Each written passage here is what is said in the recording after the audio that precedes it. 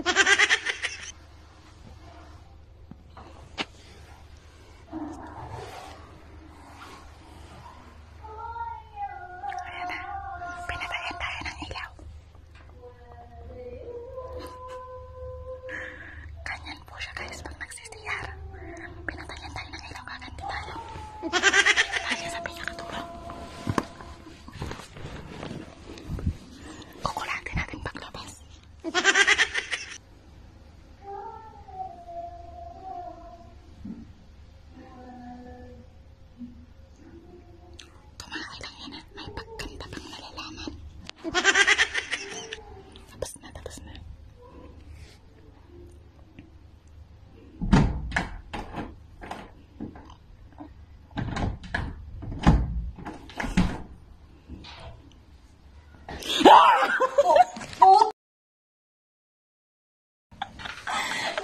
Putang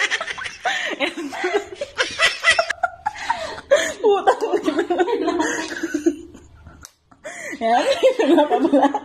Yan ang napapala ng mga... Yan!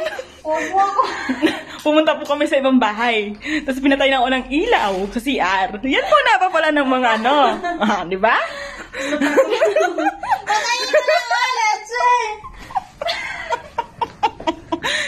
May CCTV dito.